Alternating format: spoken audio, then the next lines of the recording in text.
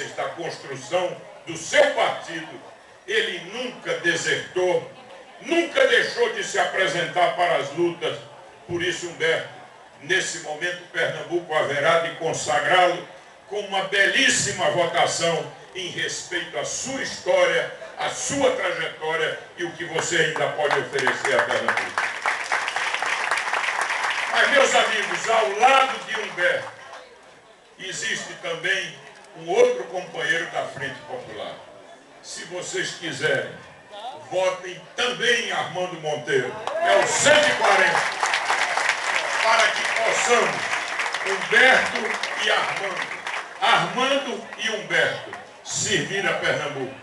Nós não somos iguais, mas temos muitas identidades e compartilhamos visões e compromissos. Vamos estar juntos construindo essa grande vitória no dia 3 de outubro, de outubro por Pernambuco e pelo Brasil. Um grande abraço a todos. Assim